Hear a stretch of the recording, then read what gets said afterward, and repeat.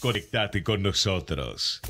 Línea directa 4 325 1220.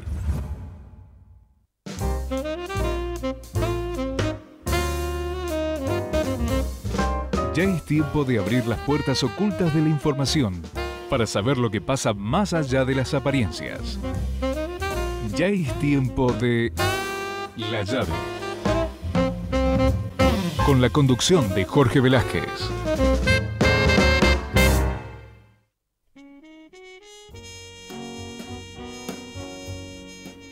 Hola, buenas tardes a todos. Bienvenidos a otra emisión de La Llave, el programa que todos los viernes a esta hora, aquí a las 18 por Radio Ecomedios, hacemos siempre con la intención de compartir actualidad, buena música y buena compañía. Hoy vamos a tener muy buena música y también muy buena compañía. Va a venir un gran saxofonista y flautista a compartir con nosotros eh, un, trabajo excepcional que ha grabado en estos últimos meses. Eh, bueno, un disco muy, muy lindo, un disco que se eh, edito solo en, formato digital y que bueno, vamos a ir en un ratito nomás, ya vamos a empezar a escuchar algunos temas y después vamos a tener aquí a su creador para compartirlo con nosotros. Como todas las semanas, bueno, le agradezco ahí, los saludo a Gerardo Subieran en los controles, Nacho Velázquez ahí en la producción periodística. Y bueno, una semana económica que sigue con, caracterizada por, por la Pax cambiaria, ¿no? Eh, o sea, eh, desde el gobierno pareciera que la, campaña, y sobre todo en lo económico, está enfocada, por un lado, bueno, en inaugurar obras, pero eso lo hacen todos los gobiernos cuando antes de las elecciones. Y después, por el otro lado, eh, mantener el dólar quieto, incluso un poco hacia la baja también, como señal de estabilidad económica. Eh, a mí igual me resulta, por lo menos me deja la sensación de, de, como medida, como señal económica, algo todavía insuficiente, porque bueno, si bien el dólar quieto indica, puede indicar alguna estabilidad, pero estamos en una estabilidad medio de cementerio, ¿no? Este, con una economía que está planchadita, planchadita, y que bueno, el dólar quieto no hace más que, que en todo caso, que reafirmar eso de, una estabilidad, pero en un nivel eh, de actividad bastante pobre, digamos, por considerarlo de una manera elegante. Igual yo quería referirme a un tema que no tiene tanto que ver con, el dólar y la campaña. Bueno, la campaña está, ya empezó, ustedes habrán escuchado recién, eh, y, yo mismo prestaba atención a los avisos de campaña que van apareciendo, que por lo menos en la llave, esta es la primera semana en que eh, podemos aquí tener y compartir con los oyentes los avisos de campaña en estos espacios cedidos a los partidos políticos. Eh, es interesante ver lo que dice cada uno, cómo lo plantean, en qué tono. Este, va marcando un poco la, tendencia de, lo que tiene que ver con, las propuestas. De todos modos, digamos que bueno, en, 30 segundos de aviso radial no se puede sintetizar demasiado. Eh, hay mucho de frases hechas, eslogans que uno ya conoce, ¿no? Eh, todos nos, prometen una maravilla de futuro, pero bueno, habrá que ver qué herramientas tienen y en qué están pensando realmente eh, proponernos para poder lograr eso. Por ahora, los eslogans de campaña este, son, al menos son divertidos, pero no mucho más. No creo que nadie defina su voto por lo que escucha de los mensajes de los candidatos por la radio o por la televisión o por donde sea, porque me parece que la gente decide su voto con, no digo que con más anticipación en cuanto a que ya saben desde muchos antes, desde mucho tiempo antes, algunos lo van a definir más sobre la marcha, pero sí ya saben lo que no quieren, lo que les molesta de unos y de otros y van procesando eso y digiriéndolo de a poco hasta que llegue el momento de ir a las elecciones y empezar a, poner el papelito en la urna, o en todo caso será eh, boleta electrónica como venimos acostumbrándonos últimamente aquí en la ciudad de Buenos Aires. En cuanto a la economía, a la microeconomía, que es lo que a mí también me gusta indagar un poco, hay algo que pasó esta semana que tiene que ver, que se enlaza de alguna forma con lo que conversamos en la semana pasada. ¿Se acuerdan que la semana pasada yo les contaba este tema de cómo dos grandes empresas tecnológicas y digitales como Airbnb, la plataforma de alojamientos y alquileres, eh, y también por otro lado Google con su buscador y su negocio publicitario, eh, se esforzaban por mostrar supuestos buenos resultados positivos y favorables para el desarrollo económico del país, en esa pelea que tienen con las empresas tradicionales por un mercado que está todavía muy disputado, tanto el de los alojamientos con los hoteles como el de la publicidad con todo el, mundo tradicional de la publicidad que tiene que ver con las agencias y los medios de comunicación. Ahora, esta semana hubo otro episodio que también enfrentó y muy abiertamente a lo que tiene que ver con las nuevas plataformas digitales, con la economía más tradicional.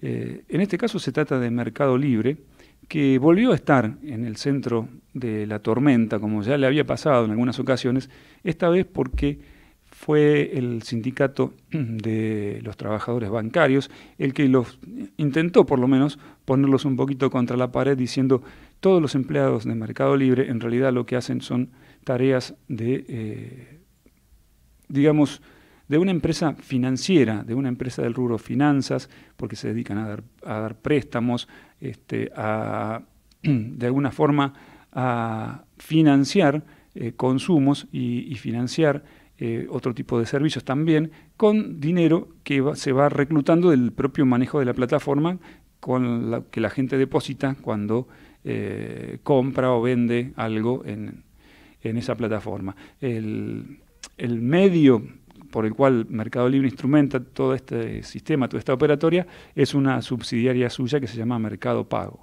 Bueno, ahí en Mercado Pago es donde apunta directamente la gente de Sergio Palazzo, o sea, de la Asociación Bancaria o de la bancaria, como se llama formalmente el sindicato, para reclamar a, Marcos Galperín, el dueño de Mercado Libre, que abra el juego y que empiece a afiliar a sus trabajadores a ese sindicato.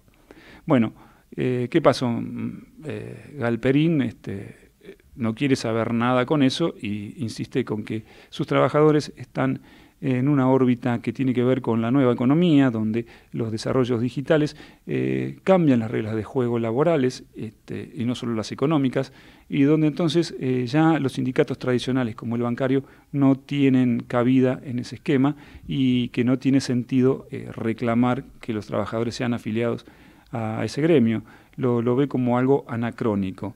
Eh, estos se enredaron esta semana en una discusión eh, bastante dura, en la cual eh, Galperín, como es su estilo, trató de no involucrarse en forma permanente, sino que lo hizo a través de mensajes en la red social Twitter, donde casi siempre contestó con, con, ironías, con chicanas hacia los reclamos del sindicato de los bancarios. Eh, bueno, Palazzo, el jefe de los bancarios, fue más concreto en, el sentido de que bueno, hubo comunicados oficiales de la asociación bancaria, hubo entrevistas y notas periodísticas que dio Palazzo argumentando y defendiendo su posición respecto de que los trabajadores, no solo de Mercado Pago como subsidiaria de Mercado Libre, sino también todos los trabajadores, dice, de las empresas llamadas fintech, porque en definitiva eh, Mercado Pago también es eso, una empresa que utiliza las herramientas digitales y toda la nueva tecnología para ofrecer servicios financieros.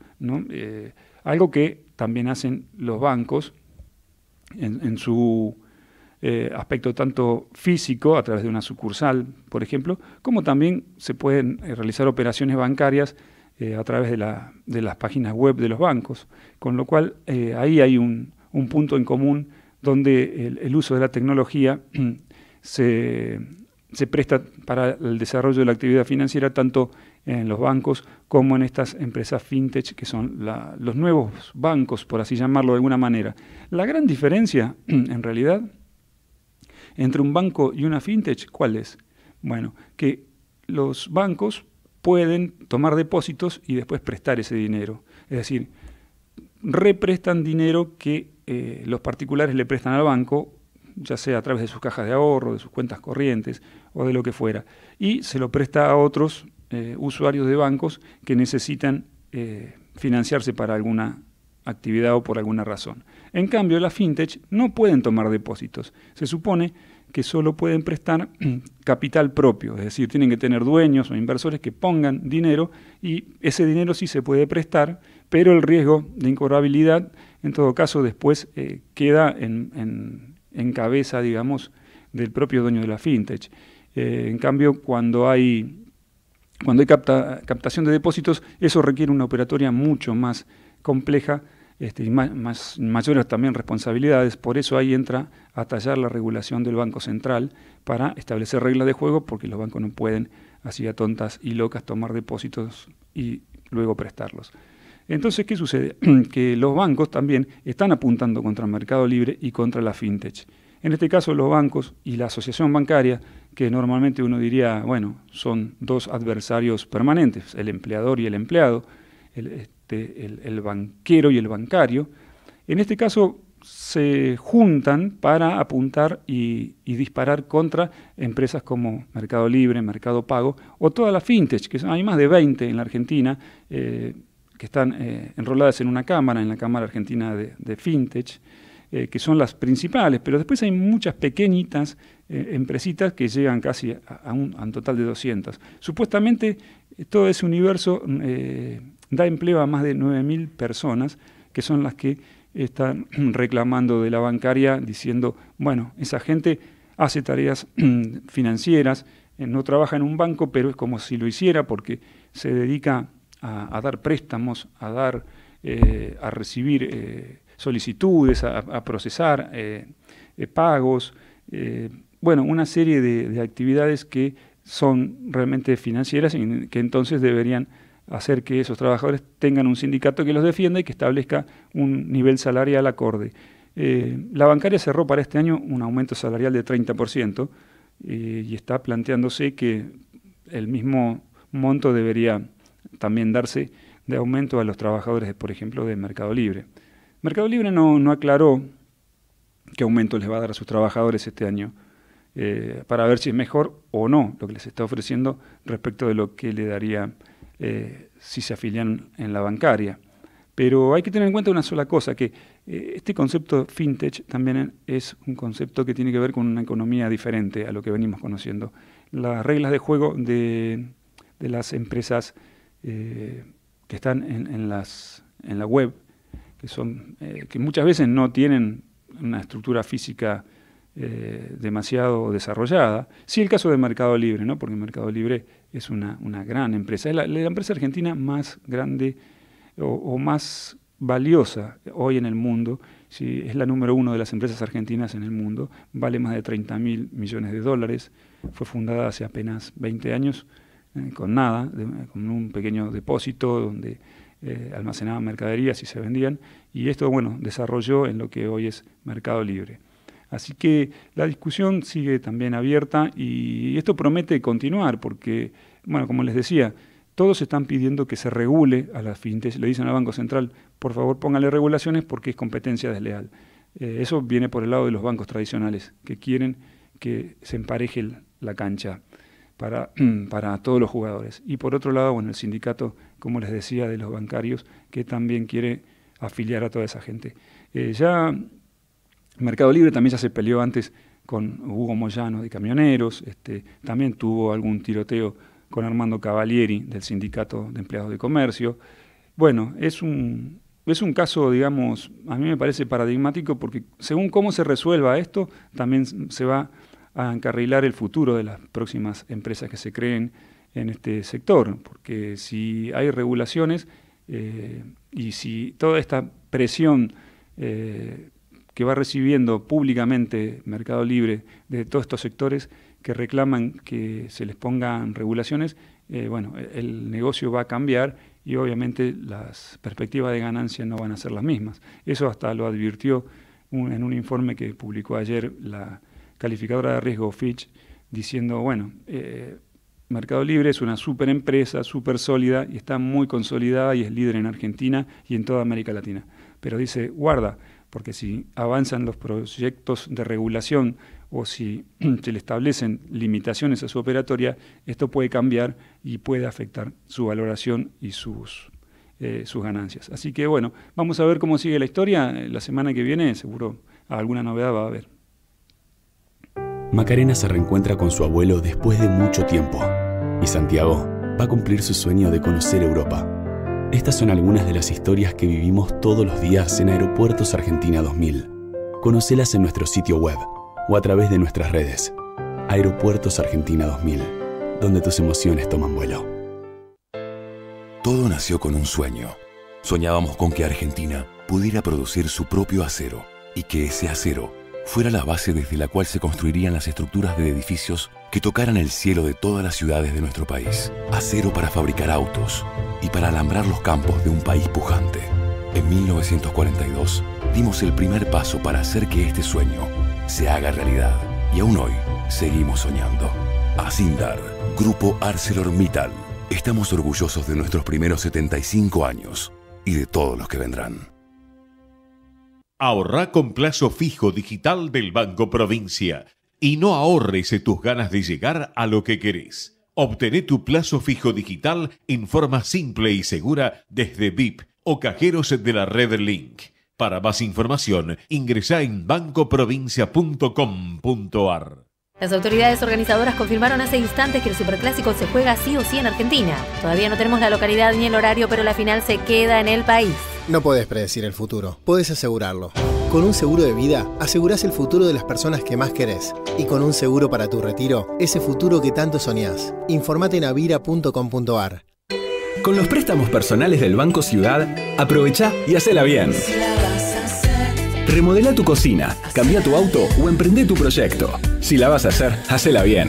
Pedí online tu préstamo personal del Banco Ciudad de hasta un millón de pesos.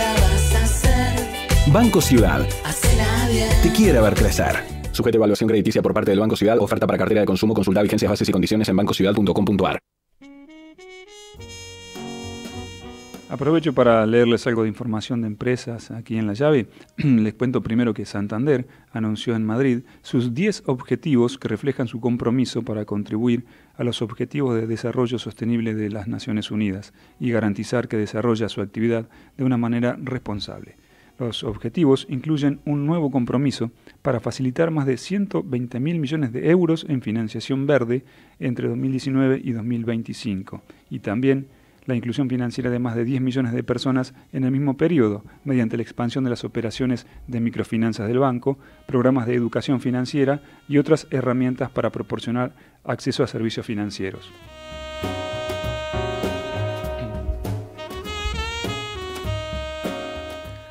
La Sociedad Rural Argentina y Biogénesis Vago celebraron una alianza estratégica para la difusión de programas sanitarios preventivos y el desarrollo de actividades en conjunto contribuyan a hacer más eficiente la producción pecuaria. Este es el punto de partida de una relación que buscará afianzarse en el tiempo a través de un trabajo colaborativo que impulse la adopción de buenas prácticas sanitarias y productivas y que facilite la difusión de información valiosa para lograr mejoras en los establecimientos ganaderos del país.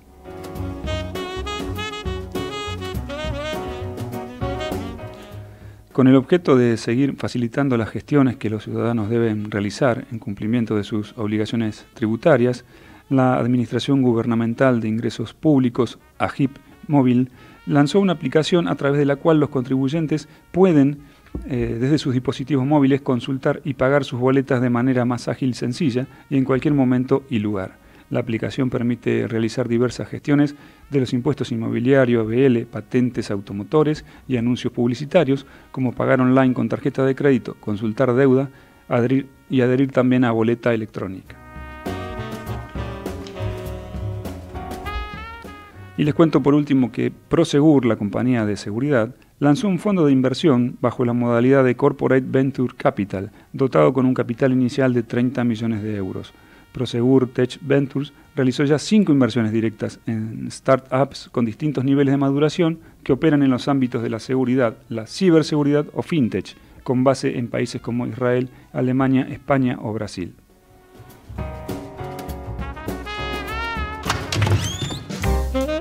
Abrite la mejor opción.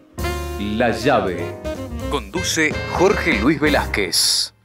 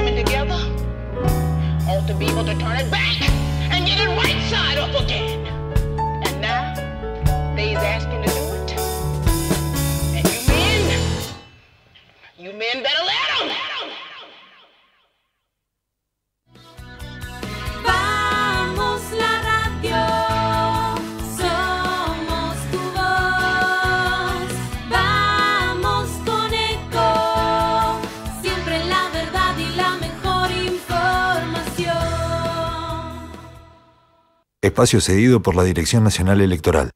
Un gobierno está para ocuparse de vos, porque te escuchamos, queremos lo mismo que vos. Un futuro para el país, un futuro para todos. Axel Kisilov, Verónica Magario, precandidatos a gobernador y vicegobernadora de la provincia de Buenos Aires, Frente de Todos, lista 503, Celeste y Blanca 2. Vení a OnFit y encontrá las mejores máquinas, profesores especializados, clases a tu medida y la mejor relación precio-beneficio en gimnasios. www.onfit.com.ar Espacio cedido por la Dirección Nacional Electoral. Nuestro lugar es estar juntos, para que el pasado no vuelva a robarnos el futuro, para terminar lo que empezamos. Los que amamos y defendemos esta provincia, estamos juntos. Alex Campbell, precandidato a diputado por la primera sección electoral de la provincia de Buenos Aires. Juntos por el cambio. Lista 135, 1A amarillo. Ay, pero qué tarde, ¿qué se me hizo? Me tengo que apurar porque si no, no llego, no llego, no llego. No. ¿Pero seguro? ¿Qué problema? Eh, bueno, vamos a encontrar una solución. Bancame ahí que en dos minutos estoy con vos. Bueno, vos ahora te tenés que ir. Sí, pero yo quiero hablar de esto ahora. Cuando llegue a casa te llamo. Te... Tres de cada diez muertos en el tránsito son peatones. Cruzá siempre por la senda peatonal o esquina, respetando los semáforos. Allí, todos los vehículos deben darte prioridad.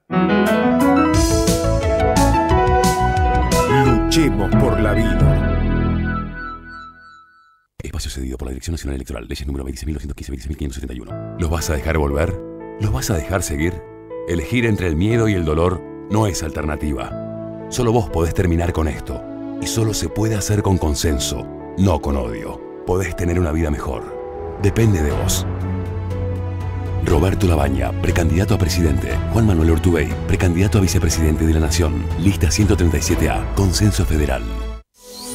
Podés vernos en vivo en ecohd.com.ar. ecohd.com.ar Conectate con nosotros. Twitter arroba Ecomedios 1220.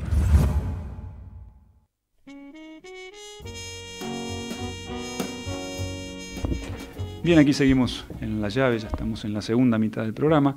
Vamos ahora a, ya vamos a conversar con nuestro invitado de hoy, quien ha tenido la gentileza de venir a compartir con nosotros un nuevo disco, su segundo disco solista. Se trata de Fabián Araya. Hola Fabián, ¿cómo estás? ¿Qué tal, Jorge? Buenas tardes, noches. Ya, tardes, tardes, tardes, tardes, que oscurecen, porque hoy oscurece temprano, ahora en esta época, pero es la tarde para mí todavía. E, está ese horario este, ahí polémico, ¿no? El, las doce y media, las siete, las seis y media en invierno. Mismo a mí me pasa a la noche, soy del equipo de que no cambia el día hasta que duerma. No importa que sean las ocho de la mañana, sigue siendo el día anterior, hasta que no me duerma, no cambia el día. Hay un poquito de ese juego. Bien, bueno, Fabián, Fabián es saxofonista, es flautista, es compositor y bueno, y es compositor de otras cosas de la música que escuchamos recién antes de, de la tanda. Que bueno, ya que te tengo a vos acá, te voy a dejar que cuentes vos qué es lo que escuchamos. Bueno, sí, recién escuchamos el primer tema del disco que estamos presentando. El disco se llama FAC, eh, F-A-Q. No, no FAC, del, del FAC, ¿no? De, eh, es, ahí hay un montón de juegos. hay el, juegos. El disco en sí se trata de, de eso, ¿no? De, de, emisiones, no de recepciones. Ahí al que le a, ahí dispara varias varias proyecciones, eh, varios reflejos. No, no, no queremos jugar con esa, con esa no queremos decir, mejor dicho, el, el, la respuesta correcta.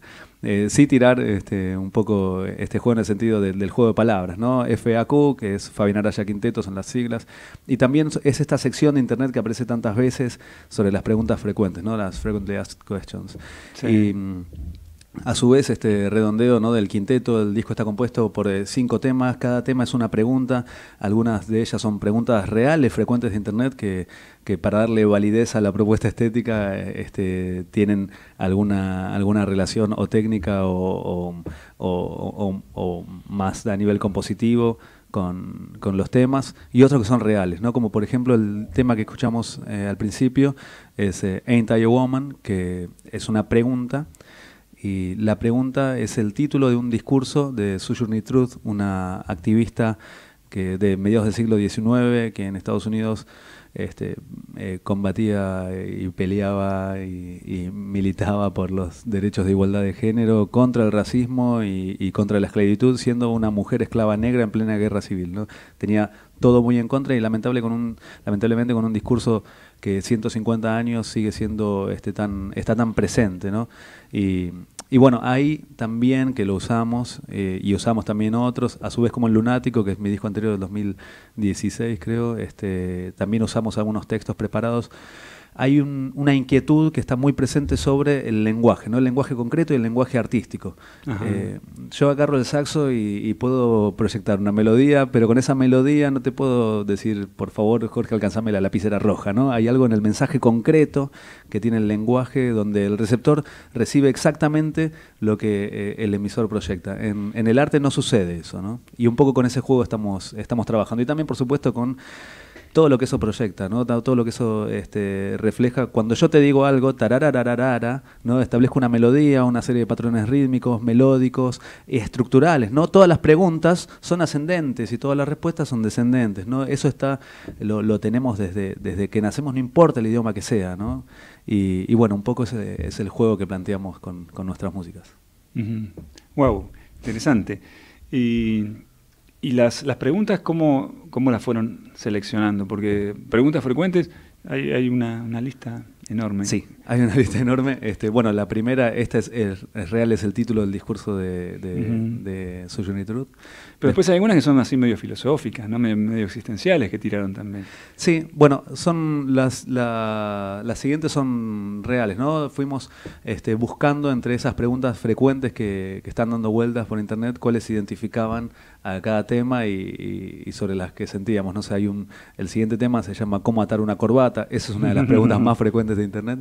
Y, y bueno, tiene relación con quizás con una cuestión más técnica. En el armado de ese tema hay un juego justo este, en la mitad del tema entre la base armónica y la base rítmica que se van descontando este, uno- unos, unos tiempos rítmicos y unas métricas que costó un poquito ensamblar y era como un nudo, ¿viste? Era como algo que estaba, ¿viste? Y bueno, cuando estábamos chusmeando vimos que esa era una gran pregunta frecuente y dijimos, listo, acá está, esto nos está identificando porque si no tiene que tener una validez, ¿no? Para hacerlo, si no es un capricho. Claro. claro. No, yo cuando me refiero a cuestiones también más existenciales, por ejemplo, la, la última, Sí. ¿no? De si la muerte es para siempre, eh, eh, o bueno, o el hasta cuándo, este, Sí, el- sí, o el por qué, que, que- que- por qué Bueno, todas- tantas cosas, ¿no? Sí, todas tienen ahí una, una, una validez. El último tema en particular es el cierre, ¿no? Es el final, es eh, eh, un tema que da cierre al disco. eh, mm, si- siento yo, y esta es una percepción mía, de que, también tiene ese ese, eh, ese dejo de esperanza, ¿no? Que, nos deja también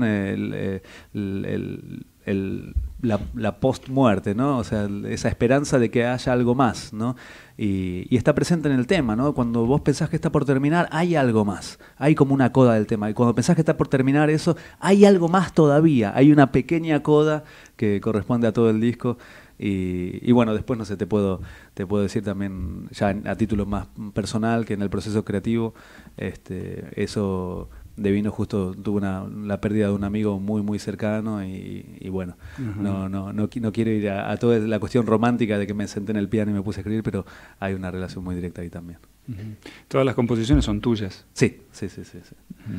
Igual este, la razón, de- digamos, de la que eh, es, un- es un quinteto es porque también el sonido y la propuesta estaba pensada para lo que podían brindar este, estos musicazos que son una- unas bestias. Contame quiénes son. Bueno, está Alejandro Mofardín en el bajo eléctrico, Francis Rimel en, en el piano y teclados, eh, está Santi Berros en saxo soprano, saxo alto, Juan Manuel Mazal en batería y, y bueno, con ellos vengo trabajando, trabajando, es una palabra rara en el arte, pero este vengo es un poco así, ¿no? Son estos shows, estos este, grabaciones donde no conoces a nadie, llegas a un lugar, te cuentan cuatro y vas como un caballito leyendo lo que está ahí, ¿viste? Y, y te vas cruzando, ¿no? Con, con diferentes eh, músicos. Y, y bueno, con ellos vengo trabajando de esta manera en varias propuestas hace ya años. Y bueno, a la hora de, de- de haber cerrado un poco la, la- la- la estética del disco, eh, sentía ¿no? que me estaba pidiendo ese toque, ese criterio de, estos de estos chicos en particular. Y bueno, después eh, lo- lo- lo- se los presenté, les presenté la idea, la propuesta y tuve la suerte de que, de que ellos se lo apropiaron, ¿no? Porque no le voy a estar diciendo, no, el dedo ponerlo acá en el bajo, el piano toca así, no, ellos ya saben, son unas bestias, ¿no? Pero por ahí que, que apareciera la música, ¿no? Que, que estuviera afuera todo esto maquinal y que, que se apropiaran de la propuesta, ¿no? De, de esto de, de, no sé, hay un montón de, de cuestiones, no hay, no hay ningún cierre a tierra, hay, viste, está todo esto de la emisión, ¿no? Todo esto de la pregunta, ¿no? En esta analogía de pregunta. Este, y que el cierre, en esta postura por ahí más dadaísta, que el cierre esté en cada uno de, los receptores, de los, de los que escuchan, ¿no? Cada uno tiene un significado diferente. ¿Hay improvisación en los temas? Hay improvisación en, en los solos y en unos segmentos hay un, un tipo de plano melódico que me gusta usar mucho, que, que es cuando este, dos líneas melódicas, yo uso todas melodías a dos vientos siempre, y, y por lo general hay, hay una sección en la cual esta melodía, eh, son dos melodías independientes y uno, eh, el oyente puede elegir escuchar este viento, este viento o la textura que se genera entre los dos vientos. Es el mismo plano, ninguno de los dos predomina. Este, ahí hay una, una, pequeña indeterminación más que improvisación por ahí. Y después, por, por supuesto, en los solos, pero no sé, eh, más está la palabra hay un tema con la palabra improvisación, ¿no? Yo por ahí la llamo más indeterminación, porque no es, para mí no es 100% improvisado, eh, mismo, no sé, dentro del jazz, eh, en general, ¿no? Hay una estructura, hay un molde, hay, hay una morfología que, respetar y, y, bueno, después hay otras estructuras jerárquicas de, de, de, armon- de bases armónicas y, y rítmicas que, que hay que respetar, son unas reglas que tiene, que tiene el juego. Nosotros nos liberamos bastante por lo general, pero en este disco estamos un poquito más agarrados ahí. Salvo uno de los temas que ya es completamente libre, que es el tercer tema que se llama ¿Por qué? Es una gran pregunta. Mm. Y, y bueno, ese es como el rebelde un poco, ¿no? Ahí liberamos completamente todo, que también es difícil, ¿no? Porque los chicos y, bueno, cualquier músico eh, tiene una formación en la cual eh, estamos muy, muy agarrados y es difícil agarrar y decir, no sé, tocá, no, no, no pensés en esto, no pensés en este acorde, no pensés en esta resolución, ¿viste? Es más, no, no mires el piano, mirá para arriba y pensá agudo, grave, silencios, este, pe- pensá en discurso, pero no, no, no me resuelvas por semitono, ¿viste? Rompamos un poco todas estas reglas. Este, bueno, va todo por ahí el disco, más o menos. Bien, vamos a hacer una, una pausa cortita y ya vamos a seguir conversando y escuchando más música de tu disco. Macarena se reencuentra con su abuelo después de mucho tiempo y Santiago va a cumplir su sueño de conocer Europa. Estas son algunas de las historias que vivimos todos los días en Aeropuertos Argentina 2000. Conocelas en nuestro sitio web o a través de nuestras redes. Aeropuertos Argentina 2000, donde tus emociones toman vuelo. Todo nació con un sueño.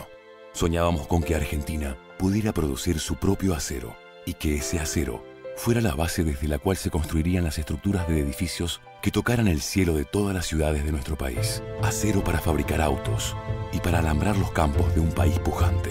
En 1942 dimos el primer paso para hacer que este sueño se haga realidad y aún hoy seguimos soñando. Asindar, Grupo ArcelorMittal. Estamos orgullosos de nuestros primeros 75 años y de todos los que vendrán. Ahorrá con plazo fijo digital del Banco Provincia y no ahorres tus ganas de llegar a lo que querés. Obtené tu plazo fijo digital en forma simple y segura desde VIP o cajeros de la red Link. Para más información, ingresá en bancoprovincia.com.ar. Las autoridades organizadoras confirmaron hace instantes que el Superclásico se juega sí o sí en Argentina. Todavía no tenemos la localidad ni el horario, pero la final se queda en el país. No podés predecir el futuro, podés asegurarlo.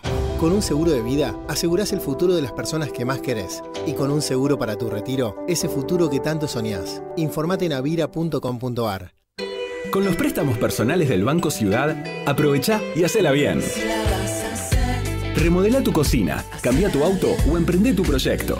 Si la vas a hacer, hacela bien. Pedí online tu préstamo personal del Banco Ciudad de hasta un millón de pesos. Banco Ciudad. Te quiere ver crecer. Sujeto a evaluación crediticia por parte del Banco Ciudad. Oferta para cartera de consumo. Consulta vigencias, bases y condiciones en bancociudad.com.ar.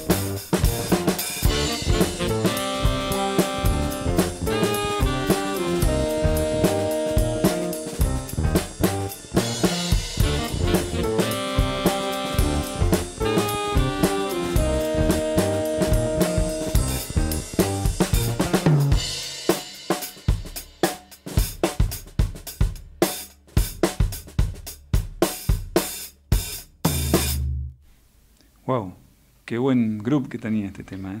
Son gruberos los pibes. Este es cómo atar una corbata. Así es, este, es el segundo tema del disco que tenía un poquito ese juego.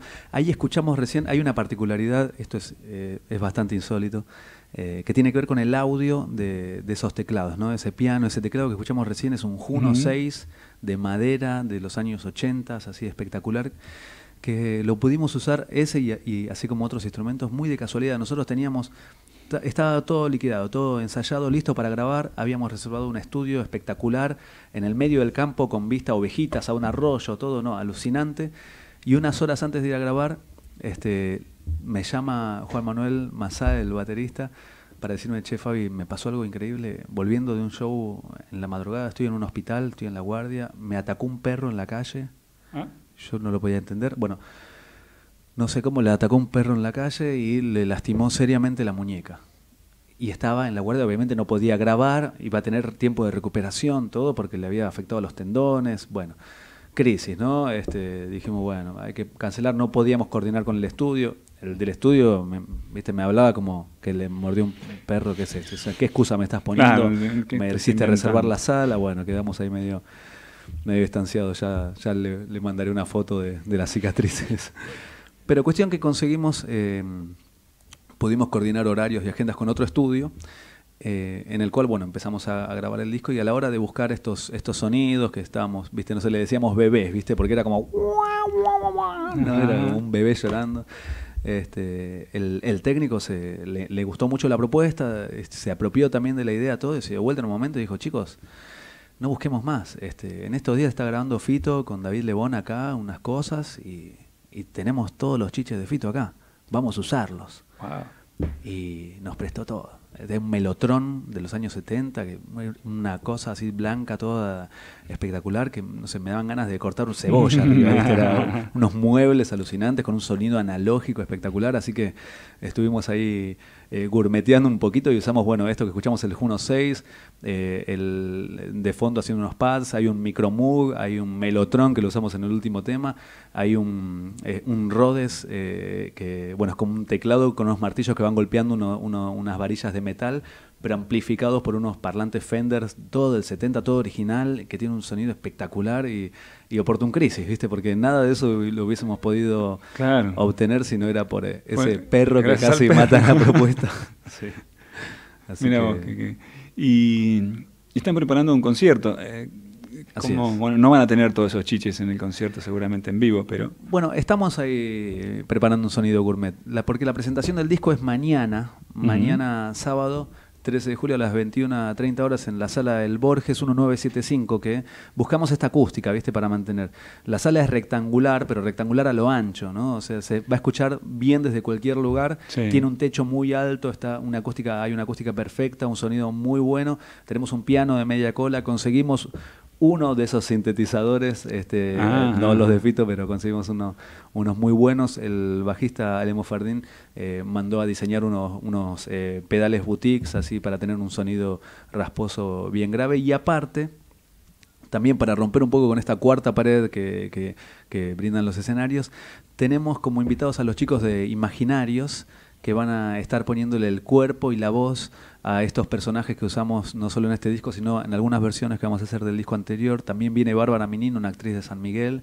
Así que todo, música, texto, este, arte dramático, utilización del espacio, acústica, va a ser muy completo y está dispuesto también todo el show en forma de, una suerte de viaje, ¿no? Es, vamos a ir llevando un poco a- al, al público por diferentes eh, lugares, emociones y, y- y- y- y sensaciones que se irán generando en el transcurso de- de- del show, ¿no? Porque por supuesto el plato fuerte es la presentación del disco, pero lo vamos mechando con algunas otras musiquitas que tenemos ahí Ujú, guardadas. Claro, claro.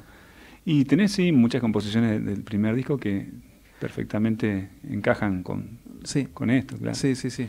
Y también, bueno, eh, un poco llevarlo a esta propuesta estética, ¿no? El disco anterior eh, es un poco más, hablando de improvisación y de indeterminación, es un poco más free, en ese sentido no está, no está tan agarrado, no estamos usando, en, es- en aquel disco no estábamos usando el sistema tonal, que acá lo estamos usando bastante, y, y hay unos- unas métricas más constantes acá, así que y, y son otros músicos, por supuesto, así que le dieron esa impronta y, y lo trajimos para que tenga que ver también, ¿no? No, un poco esto de, de- de- de no meter por meter de forma caprichosa, sino que, que tenga un sentido y una razón, una razón de ser y de estar, ¿no? Está porque lo pide. Y mañana ahí en Borges, además de escuchar el concierto, ¿se puede comprar el disco? Así es, va a estar este disco, este, el disco anterior también, y la entrada es eh, muy económica, es lo más barato que me dejaron poner, lo que es 200 pesos, eh, entrada única, así que bueno, esperemos que, que, que, bueno, que puedan venir y que sea una linda noche. ¿Van a estar todos los músicos que grabaron en el disco? Sí, es la formación original y bueno, los, están los actores como invitados. Ajá. Bien, recordame entonces, esto es mañana. Mañana 21 a 30 horas en Borges 1975, esto es pleno Palermo, entrada 200 pesos y, y bueno, una linda noche. Buenísimo.